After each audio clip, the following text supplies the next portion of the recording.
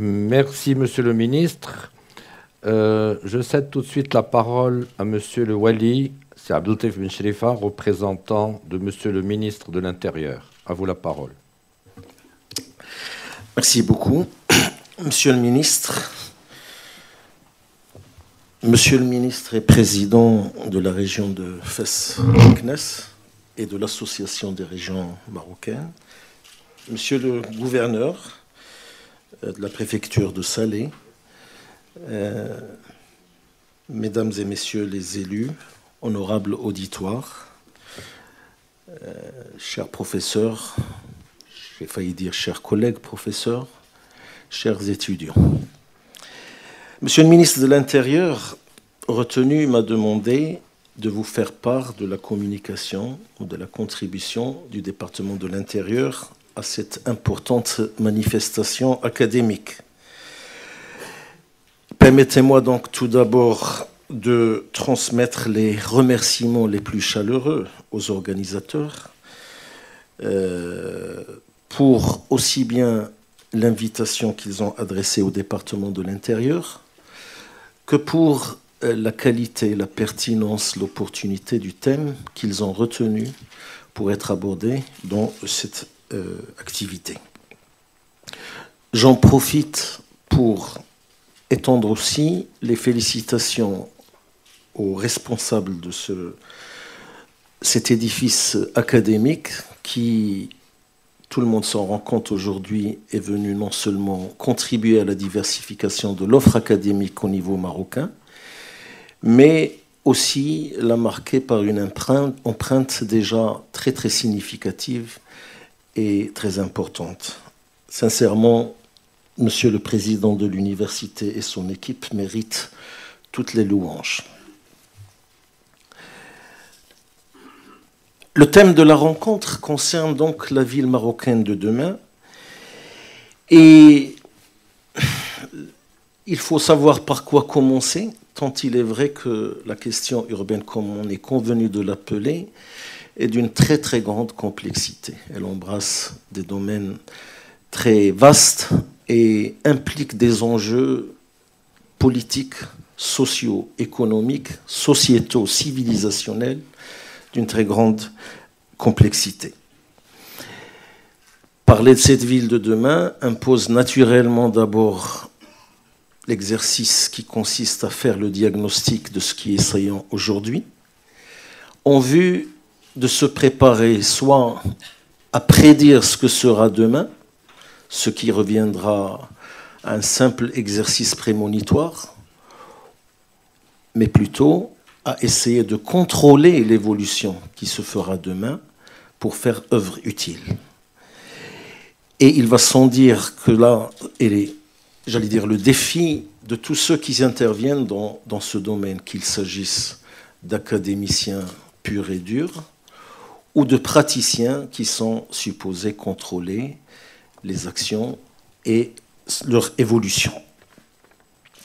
Alors s'agissant du Maroc, monsieur le ministre tout à l'heure a déjà fait le contour de la question de l'urbanisation au niveau mondial, mais il est important, me semble-t-il, et c'est le propre, je pense aussi, de l'objectif de la rencontre, il est important de ne pas euh, s'éloigner de l'obligation de contextualisation ou ce que certains appelleraient d'un historicisme de bon aloi. C'est-à-dire, en clair, il va falloir regarder la réalité de chez nous comme il est. Alors, que nous disent les principaux faits? Ils sont nombreux, mais je voudrais m'arrêter sur deux ou trois simplement.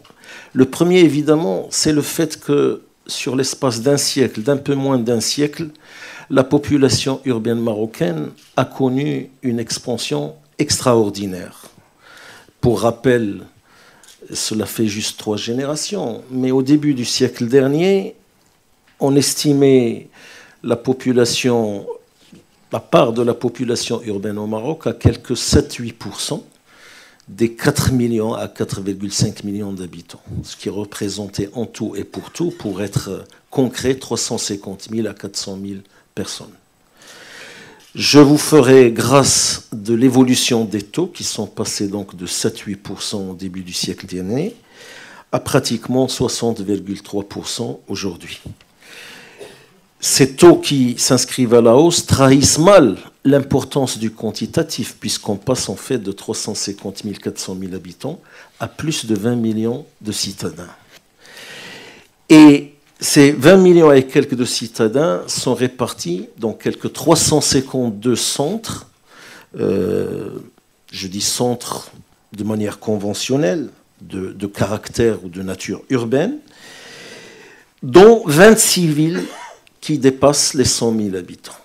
C'est à peu près aujourd'hui cette réalité qui s'est faite sur une évolution accélérée et rapide dans, ce, dans le courant d'un siècle entier.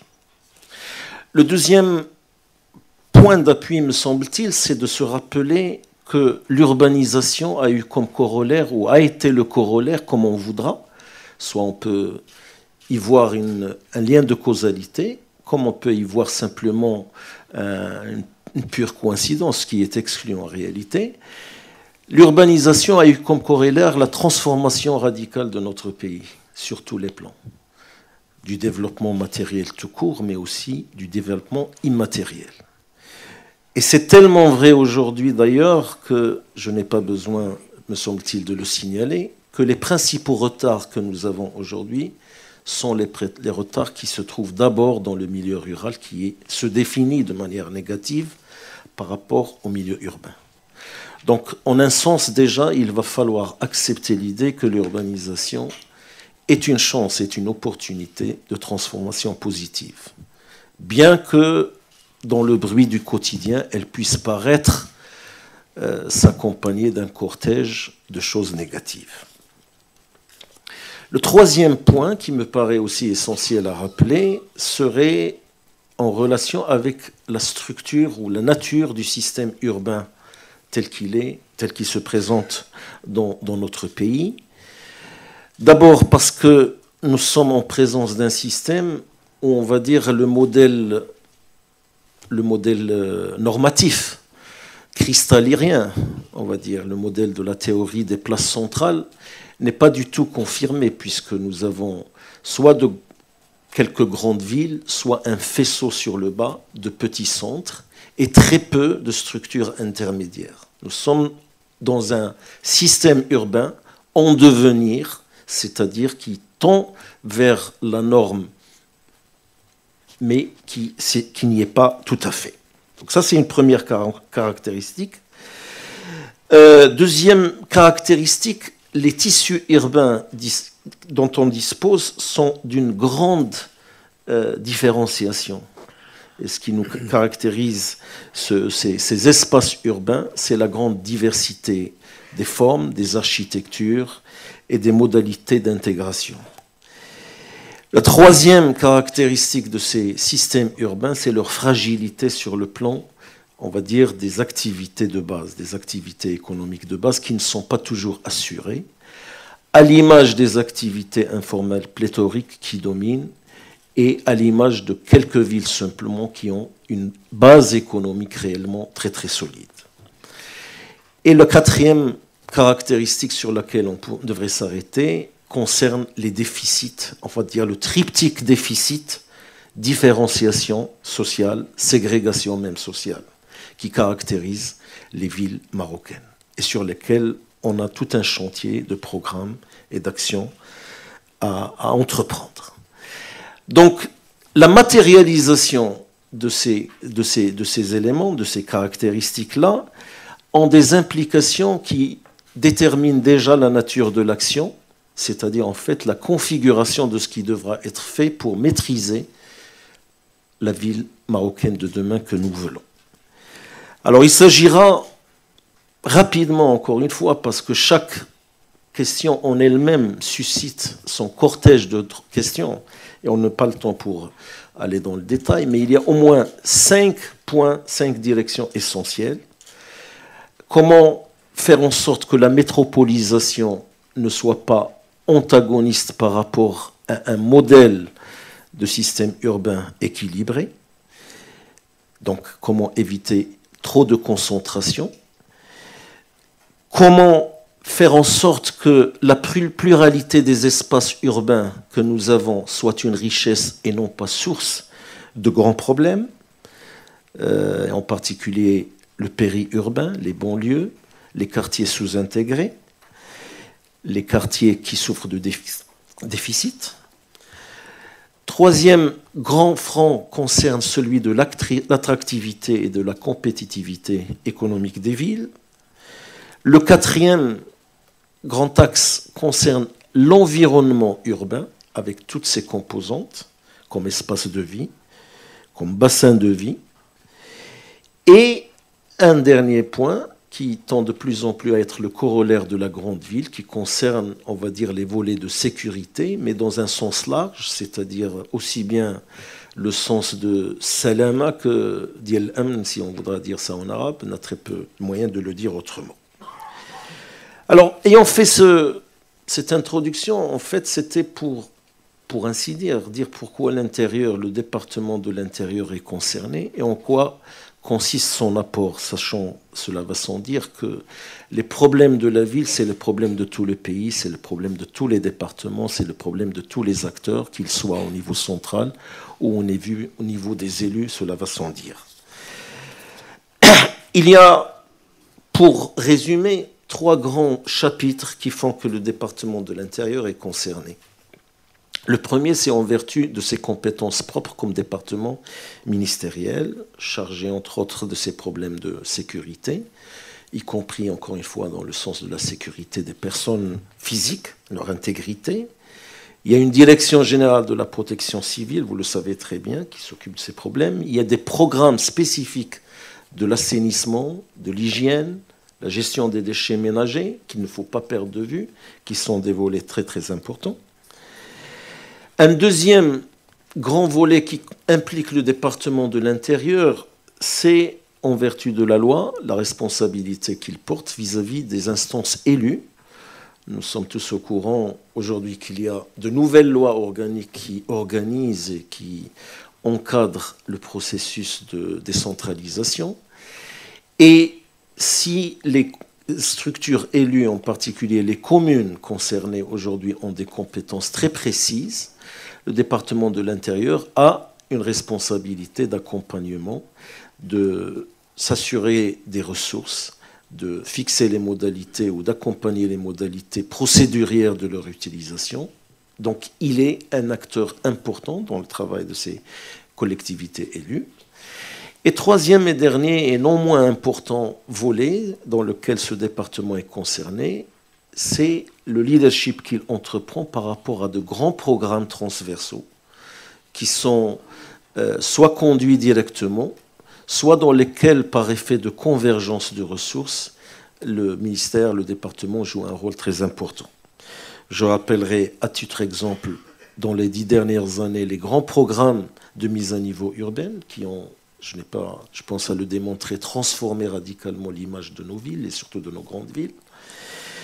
Les grands programmes d'assainissement qui sont entrepris aujourd'hui, qui sont sur les, on va dire, les neuf dernières années, pratiquement 21 milliards de dirhams qui, sont, qui ont été euh, mis, en place. Les grands programmes de déplacement urbain qui sont en cours et les, plans, les, les, les, les programmes de transport en milieu urbain, très spécifiquement aussi, qui sont en cours. Donc, sur un plan très pratique, c'est un département qui a légitimement euh, une présence et qui est concerné, qui est impliqué, avec d'autres partenaires qui sont très nombreux d'ailleurs, dans la, configuration de cette ville de, de, de demain.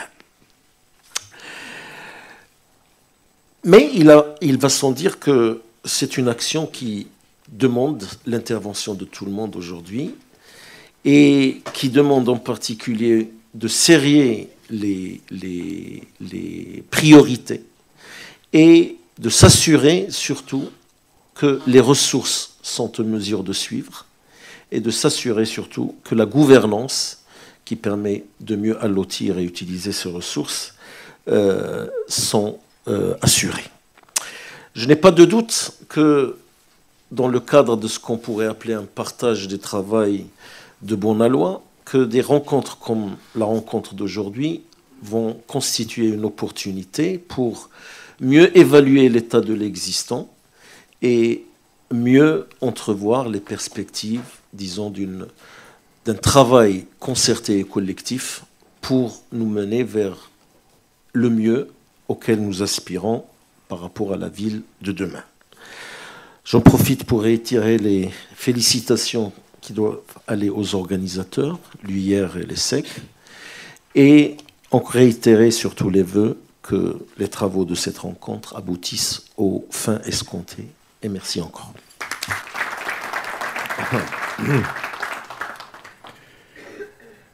Merci Seyd Shrifa. La parole est à M.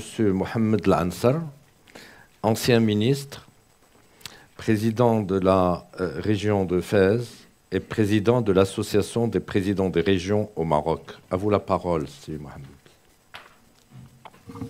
Merci, merci bien. Monsieur le ministre, euh, monsieur le Wali, madame, monsieur le, les secrétaires généraux, monsieur le président de l'université, monsieur le maire, honorable assistance, je pense que moi aussi, euh, et ce n'est pas seulement par mimétisme, mais c'est une conviction, je m'associe effectivement à tous mes prédécesseurs qui ont féliciter et exprimer le remerciement aux organisateurs de cette rencontre. Rencontre effectivement extrêmement pertinente sur un sujet qui interpelle tout le monde. Pas seulement au Maroc, d'ailleurs, quand on regarde le nombre de, de ce qui se publie, de ce, que, ce qui s'écrit aujourd'hui sur les villes et sur les villes de demain, euh, on ne peut effectivement qu'être saisi par l'importance du sujet. Je pense qu'effectivement, euh, ma présence ici aujourd'hui, hum, je vais essayer de la, justifier par, par, une autre approche, parce qu'effectivement, des spécialistes, aussi bien dans la tribune que dans la salle, des problèmes urbains et de la ville sont nombreux et parleront de la ville.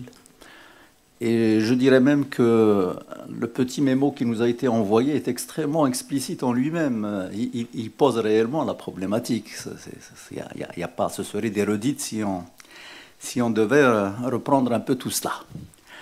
Il est évident, euh, bien sûr, on peut euh, polémiquer un peu.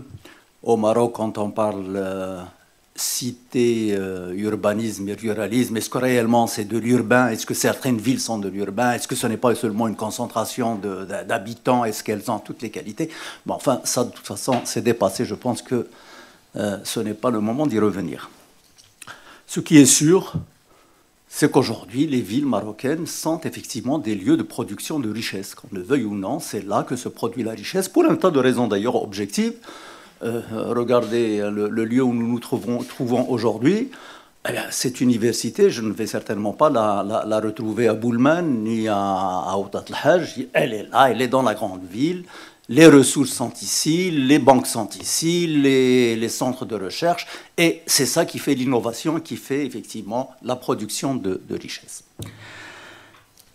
ma, problématique, moi, c'est qu'effectivement, d'abord, euh, en tant que président de, région, et je me dois, avec vous, euh, je pense, vous serez d'accord, de saluer cette réforme extrêmement importante dans laquelle s'est engagé le Maroc, qui est celle, effectivement, de, de, changer de cap. La région, nous connaissions effectivement depuis longtemps, mais en réalité, c'est aujourd'hui qu'on s'engage réellement dans une réforme institutionnelle qui concerne la région et euh, la région en tant qu'espace aussi adéquat pour l'économie, pour le, développement. Et d'ailleurs, c'est ce qui a expliqué qu'on a réduit le nombre de, régions de 16 à 12, parce qu'il y a effectivement un équilibre, une dimension idoine à trouver. Ce n'est peut-être pas encore la bonne, mais en tout cas, la commune et la, et la province, c'est trop petit pour le développement, pour les grands chantiers. Le, pays, c'est trop grand. Il y a effectivement un équilibre qui est celui de la région dans laquelle on peut effectivement euh, faire du développement et de l'économie. Ce n'est pas la seule finalité. La finalité de la réforme de la région, c'est aussi, euh, disons-le, elle est aussi politique. C'est d'abord effectivement une plus grande démocratisation. La démocratie, ça prend d'abord sur le terrain, ça, prend auprès du citoyen de, base. C'est aussi effectivement euh, aller plus loin dans la décentralisation et, euh, et j'en passe, mais c'est aussi un équilibre et une justice spatiale ou territoriale. Aujourd'hui, le terme, les termes reviennent souvent, surtout en arabe, ça sonne très bien. La adel al-Majalia, euh, la adel al-Turabia, c'est extrêmement beau. Espérons qu'on y arrivera. Alors, quel est le problème effectivement qui se pose aux régions aujourd'hui? C'est que d'abord, la région ne, ne contient pas seulement des villes contient des villes, elle contient aussi un territoire rural et des populations rurales et des centres ruraux. Ça veut dire que la hiérarchie urbaine est très importante pour les régions. Bien sûr, on a toujours parlé des pôles de développement, des pôles qu'il faut développer, mais évitons de transposer sur les régions marocaines qui sont trop grandes en superficie le, slogan des années 50 en France, Paris est le désert français, il ne faudrait pas non plus qu'on retrouve un pôle et le désert dans la région.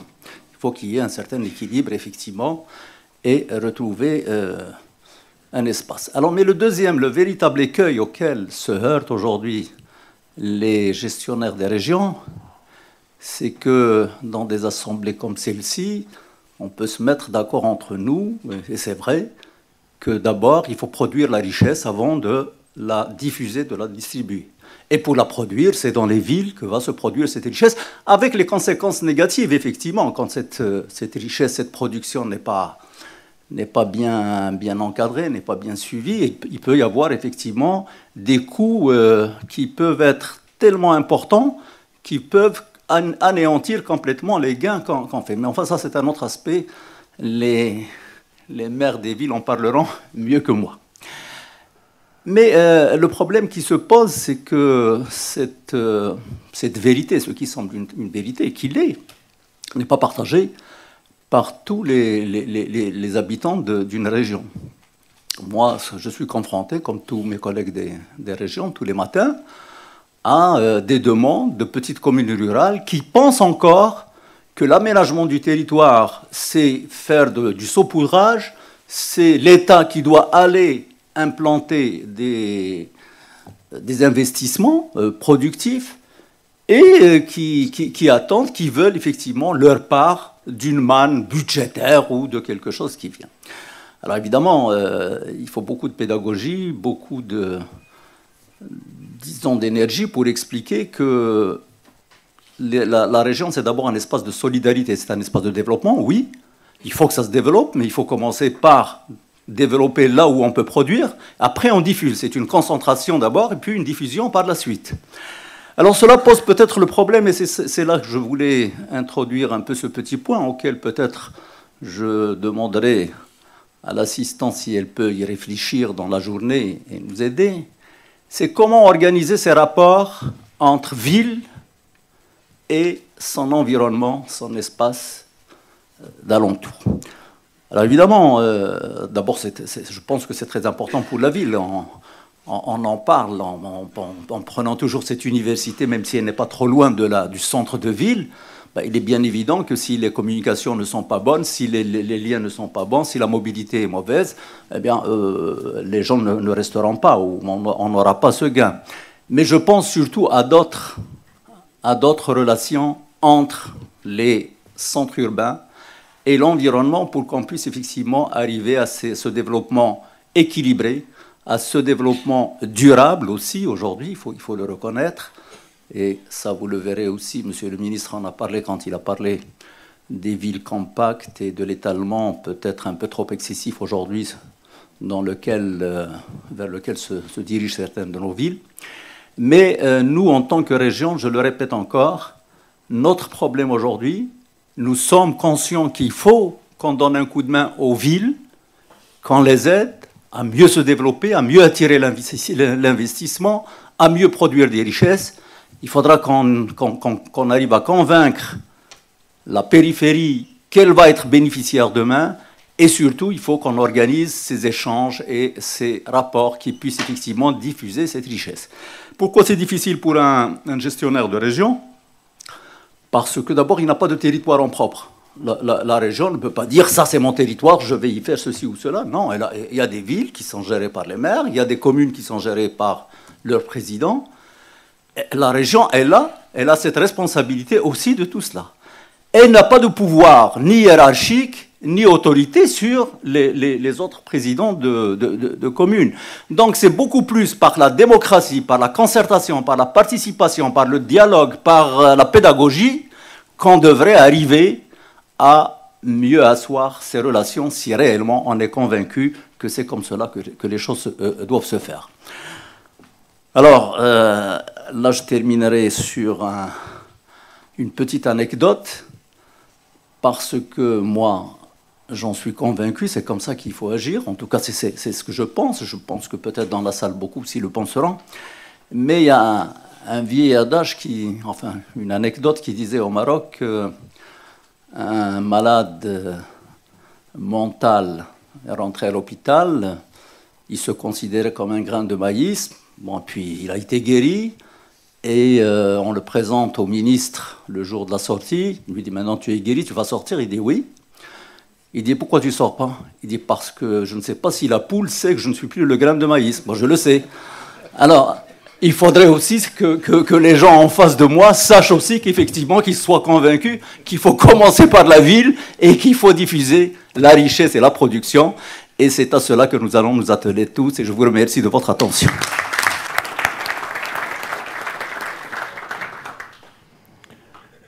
Merci c'est Ansar pour ce grain d'humour dont on a besoin et je suggère aux différents intervenants de temps en temps de faire des choses de ce style-là pour... Euh, d'ailleurs, je vais vous raconter moi aussi une petite histoire si vous permettez.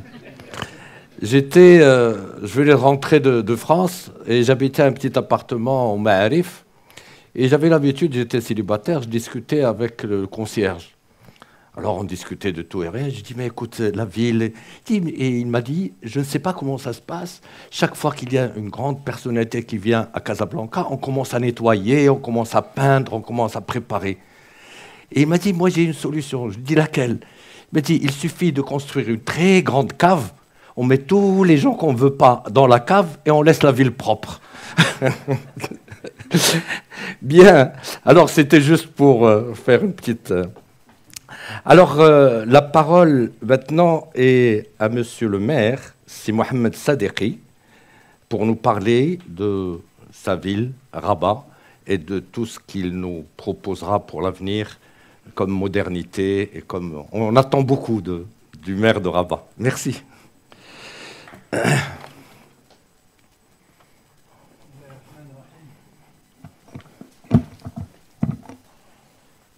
Monsieur le ministre, Monsieur Louali, représentant de Monsieur le ministre de l'Intérieur, Monsieur le président de la région Fès Boulmen et président de l'Association des régions du Maroc. Fès Mknes. Fès exactement. Fès Mknes, je m'excuse, vous avez raison, Monsieur le Président. Monsieur le gouverneur de la ville de Salé, Messieurs les directeurs de l'UR et de l'ESSEC, honorable assistance. C'est un honneur pour moi d'être euh, parmi vous. Mais je, crois que je ne vais pas répondre à la demande de Monsieur le Président. C'est un mot d'introduction seulement ce matin. Je vais intervenir dans l'atelier 3 sur la gouvernance cet après-midi. Mais quand même, je salue l'équipe qui a organisé ce colloque l'équipe de l'UR et de l'ESSEC, et du choix du thème qui est la ville marocaine de demain, pour dire est-ce qu'on peut penser la ville marocaine de demain sans faire le point déjà sur la ville marocaine d'aujourd'hui. Je crois que c'est ça le rôle et c'est ce qu'on va tous aborder euh, au long de cette journée dans ce colloque et qu'on espère très bien qu'on arrive tous ensemble à des solutions concertées. Déjà, cette initiative entre l'UR et l'ESSEC, pour moi, c'est quelque chose vraiment qui me réjouit personnellement. Parce que on a toujours, on a toujours dit quelle relation entre l'université et son entourage. Il y a l'entourage, il y a la ville, il y a la région, il y a le rural, mais il y a l'université aussi qui forme des gens, je ne sais pas, qu'est-ce qu'ils font, est-ce qu'il y a une relation, est-ce qu'on peut penser aux défis qui sont lancés par nos villes aujourd'hui. Donc déjà, cette initiative, je vous demande de l'applaudir et de la saluer, parce que c'est un bon début, c'est un bon début pour que notre université et nos écoles, effectivement, contribuent au développement de nos villes par la mise à leur disposition de hauts cadres, parce que sans ressources humaines, vous savez très bien que le futur n'est pas très bien tracé. Je peux lancer quelques défis. Déjà, Monsieur le, ministre, Monsieur le Wali, Monsieur le Président, ils ont parlé tous d'un défi sur lequel nous n'avons pas beaucoup de, de mains, c'est la démographie. Il est ce qu'il est la démographie. D'ici 2050, on sera 70% qui habitent nos villes urbanisées. 70%. Est-ce qu'on a pensé au transport de ces 70% Est-ce qu'on a pensé aux défis de l'environnement? Est-ce qu'on a pensé aux défis urbanistiques? Est-ce qu'on a pensé aux défis de développement en général? Parce que si nos villes ne sont, plus attractives, vous pouvez imaginer un petit peu la vie et la qualité de vie qu'on subit, alors que on veut concerter notre qualité de vie, on veut la penser, on veut l'anticiper au lieu de la subir. C'est la réflexion et c'est le rôle et c'est ce que nous allons tous aborder aujourd'hui dans ce colloque. Je ne vais pas trop tarder. Je vous remercie pour votre attention et aux ateliers, Inch'Allah. Merci, c'est Donc, rendez-vous en début d'après-midi avec vous pour parler de la gouvernance euh, institutionnelle et économique euh, des territoires. Euh, la parole est à Thierry Sibiud, qui est directeur de l'ESSEC Afrique Atlantique. À vous la parole. Merci, monsieur. Monsieur le ministre, monsieur le Wali, monsieur le président de la région de Fès-Meknès, monsieur le maire de Rabat, cher Mohamed, euh, monsieur le président de l'Université internationale de, Rabat, et puis monsieur le vice-président aussi, parce qu'on travaille beaucoup ensemble, donc je salue le vice-président. On salue souvent les présidents, mais il faut aussi penser au vice-président. Et donc, euh, mesdames et messieurs, les professeurs, je salue également le euh, professeur Driss Rali et le professeur Valérie Hugo qui ont organisé ce, ce, colloque, et puis, mesdames, messieurs, vous qui nous faites l'honneur et le plaisir d'assister à, cette euh, importante manifestation dont on vous a dit toute l'importance qu'elle avait, euh, tant pour euh, l'Université internationale de Rabat que pour l'ESSEC aujourd'hui. Je veux d'abord excuser le directeur général de l'ESSEC, Jean-Michel Blanquer, qui a suivi de très près. Voilà, qui a suivi de très près donc la préparation de ce, colloque et qui a finalement fait sienne la devise et le slogan de l'UIR en osant le Maroc, et j'irai même un peu plus loin, en, osant l'Afrique, puisque euh, le sens de notre présence aujourd'hui, c'est euh, de marquer l'implantation euh, de l'ESSEC en Afrique, en commençant par le Maroc. Il y a une longue tradition de travail entre l'ESSEC et le Maroc. Nous accueillons depuis longtemps des étudiants euh, du Maroc, quelques, jeunes gens encore aujourd'hui euh, de très grande qualité euh, sont présents. Il y a des parents dans la salle dont, les, dont les enfants sont chez nous et qui nous ont confié leurs enfants. C'est dire la responsabilité qui est la nôtre. Tout ça pour vous dire que les SEC aujourd'hui cherchent et souhaitent développer les compétences et les savoirs, euh, non seulement euh, à partir de euh, Cergy-Pontoise, qui est notre berceau historique, mais également dans des implantations internationales. Il y a eu Singapour il y a dix ans, et il y a aujourd'hui donc Rabat, le Maroc, puisque le Maroc a été choisi comme implantation, puisque le Maroc est, je crois, dans une certaine mesure, un hub économique et culturel euh, entre l'Afrique de l'Ouest et euh, donc euh, l'Europe. L'ESSEC travaille en partenariat étroit avec deux grandes institutions. Je vais commencer par nos hôtes du jour, l'Université internationale de, Rabat, avec ce programme que nous envisageons et sur lequel je reviendrai tout à l'heure, que nous allons lancer pour la formation des cadres territoriaux, pour la formation de celles et ceux qui accompagneront ce mouvement extrêmement important de l'urbanisation dont euh, les orateurs précédents ont euh, illustré à quel point il est un enjeu crucial pour le Maroc. Et puis euh, les SEC travaillent aussi avec l'école centrale de Casablanca, puisqu'il y a un partenariat, j'allais dire historique, entre l'école centrale à Paris et les SEC. L'ESSEC a, pour ambition, euh, et pardonnez-moi de prendre quelques instants pour vous justifier, pour expliquer pourquoi est-ce que nous sommes là aujourd'hui, l'ESSEC a pour ambition de devenir euh, la business school africaine de référence du XXIe siècle, euh, avec l'objectif de former des managers et des entrepreneurs d'une économie qui sera responsable et durable. Et donc, nous avons souhaité et nous souhaitons favoriser une forme de co-développement du continent africain. Et le co-développement est peut-être une première piste de travail, euh, une première réponse aux questions qu'ont posées euh, euh, et le ministre, et le Wali, et le président de la région de Fès. Donc le co-développement du continent africain, en s'appuyant sur la francophonie, comme un levier non seulement culturel, mais aussi économique. En effet, économique. En effet, la, francophonie, c'est aujourd'hui 230 millions de personnes, dont 57% sont en Afrique. Et pour mémoire, puisqu'on a fait un peu d'histoire tout à l'heure, eh en 1950, ces personnes francophones étaient 150 millions. Et selon l'OIF, elles seront 770 millions en 2050, dont 85% euh, se trouveront euh, en Afrique.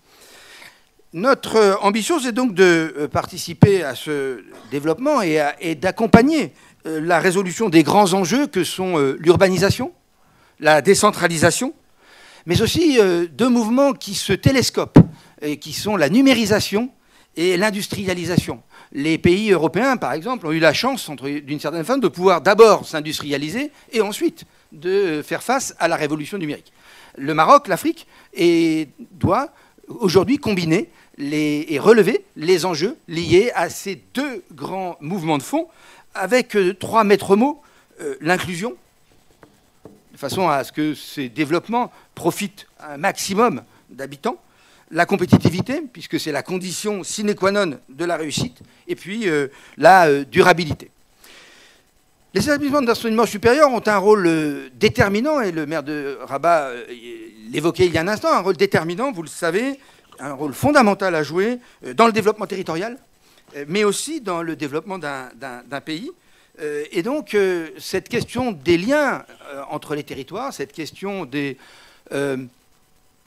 échanges entre les différents territoires euh, peut trouver également réponse dans euh, les, euh, les, efforts de formation, les efforts d'élévation de compétences qui seront, qui seront réalisés par non seulement les établissements d'enseignement supérieur, mais également l'ensemble des parties prenantes, au premier rang desquelles évidemment les pouvoirs publics, les élus, les élus locaux qui ont un rôle déterminant à jouer, mais aussi les acteurs économiques, lesquels acteurs économiques euh, sont en pleine croissance et en plein, euh, en plein euh, développement. Nous avons choisi de nous implanter sur tous les registres de l'activité d'un établissement d'enseignement euh, supérieur, d'abord par des programmes et post-bac pour former des managers euh, intermédiaires. Nous avons identifié que l'un des besoins cruciaux de l'économie euh, marocaine et africaine se trouve dans la formation de managers intermédiaires de qualité ces managers intermédiaires qui euh, donc doivent recevoir une formation solide en, gestion, en management. Le calcul que nous avons fait, c'est de se dire euh, aujourd'hui, euh, en Afrique, il y a 600 millions de personnes qui sont employables, qui sont sur le marché du travail. En 2040, il y aura 1 milliard de 100 millions de personnes. Et, eh bien, tout l'enjeu, c'est comment comment favoriser et comment euh, créer la richesse nécessaire pour permettre à ces personnes de trouver un emploi. Les administrations publiques ne seront évidemment pas en capacité, ni même les euh, filiales des grandes entreprises multinationales ne seront pas en capacité de fournir ce travail à toute cette force de, vie et à toute cette force de, travail. D'où euh, pour nous l'importance de favoriser la création de l'entreprise, la création d'entreprise, puisque la richesse, comme ça a été très bien dit avant d'être diffusée, doit être créée. Et aujourd'hui, un des vecteurs principaux de création de richesse et de valeur, c'est bien sûr la création d'entreprises. Et donc, en tant que professeur titulaire de la chaire entrepreneuriat social de l'ESSEC, vous imaginez bien que assez spontanément et assez naturellement, nous développerons ici au Maroc d'abord et en Afrique demain les formations et les actions nécessaires pour favoriser la création d'entreprises avec une ambition qui est grande, mais que j'espère vous nous aiderez à atteindre, qui est celle de devenir la business school africaine de référence du XXIe siècle pour former à la fois des managers, à la fois des des leaders d'entreprise, des leaders de territoire qui sauront porter ce développement durable et ce développement économique fort de, de leur territoire et de leur région. Évidemment, euh, cette formation de manager ne serait pas suffisante. Il y a également toute la dimension euh, des jeunes. Euh, la formation des jeunes ne serait pas suffisante. Il y a également toute la formation des cadres. Alors il y a la formation des cadres territoriaux avec ce partenariat extrêmement important pour nous avec l'Université internationale de Rabat.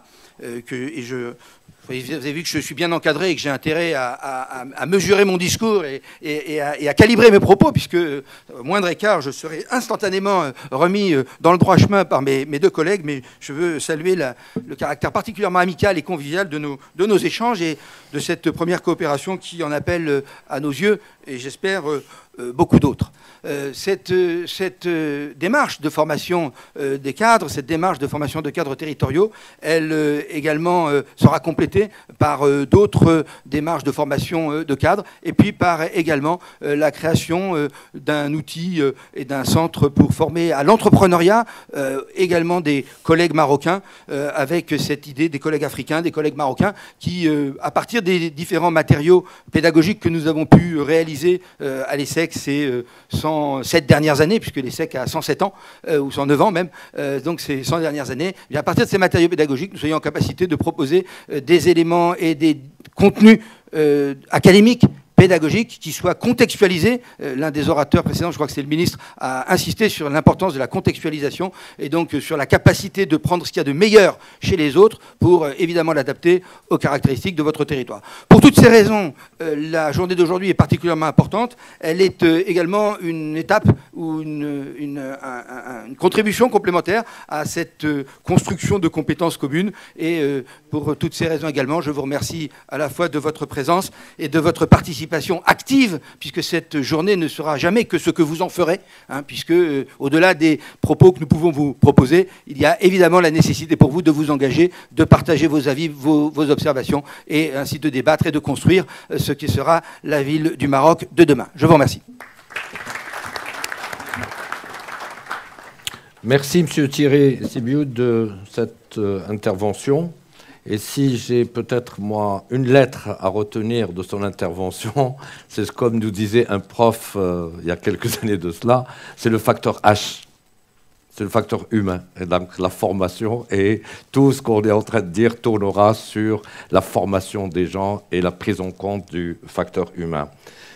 Je laisse tout de suite la parole à Sinourdine Mouedib, président de l'Université internationale de Rabat.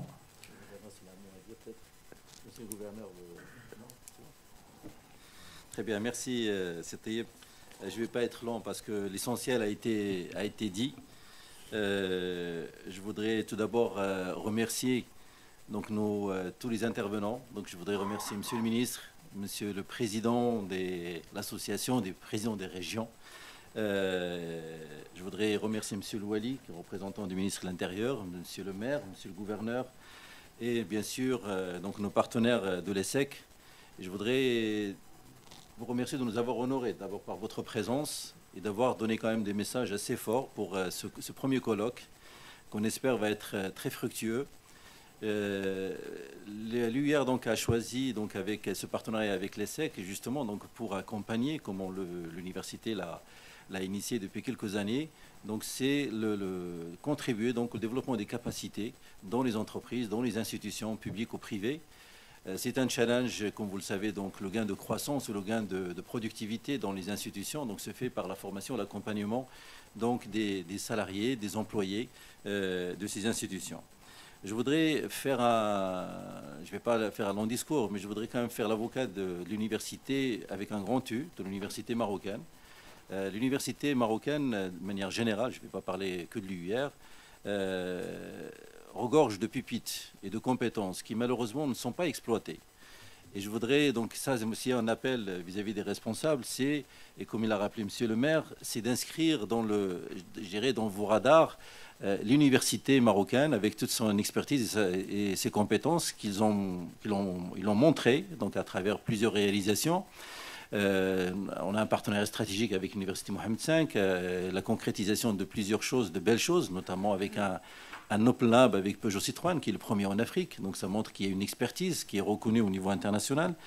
Euh, il y a aussi des projets sur les smart cities. Donc il y a eu un prix, euh, donc euh, bon, c'est l'Université internationale de Rabat, un prix international donc d'IBM pour un projet autour des, smart cities. Donc il y a une expertise au niveau de l'université marocaine qui malheureusement, je n'est pas encore assez mise en valeur par son expertise et qui peut rendre un service utile donc à, à la communauté que ce soit pour les collectivités locales, pour la ville, pour la région et pour euh, tout, en tout cas son environnement socio-économique. Donc ça, c'est un appel pour qu'on puisse euh, rendre hommage à cette université qui est souvent critiquée. bien sûr, il y a des choses qui vont pas, mais il y a des choses qui vont bien. Et il faut peut-être peut-être montrer le verre à moitié plein qu'à moitié vide. et pour ça, je voudrais insister sur une composante. Bien sûr, il y a la partie accompagnement, formation continue, mais il y a aussi la recherche. Et comme vous le savez, donc la recherche est, productrice de richesse, l'innovation. Donc euh, nos universités aujourd'hui, si vous regardez par rapport à une dizaine d'années, le nombre de brevets déposés par les universités marocaines par rapport à celui qui est déposé maintenant, donc il y a vraiment un saut qualitatif et quantitatif relativement important, ce qui a permis au Maroc de gagner des places au niveau euh, international, donc au niveau classement de l'innovation. Et cette innovation a, besoin parfois d'un accompagnement de ce qu'on appelle donc des, des fonds d'amorçage pour pouvoir créer des startups. Et donc, bien sûr, qui sont créés des startups, donc on crée des emplois. Et je pense aujourd'hui, on est tous à la recherche, j'irai de niches et d'idées pour la création d'emplois. Et ça, ça peut donc se faire via aussi donc un investissement donc dans la dans l'accompagnement de cette recherche appliquée et bien sûr avec euh, toute la formation que euh, aujourd'hui qu'on propose avec l'ESSEC et que l'UR propose aussi d'autres formations avec d'autres partenaires euh, français, américains, espagnols, etc. Et on n'est pas les seuls. Toute l'université marocaine aujourd'hui est dans est dans cette direction.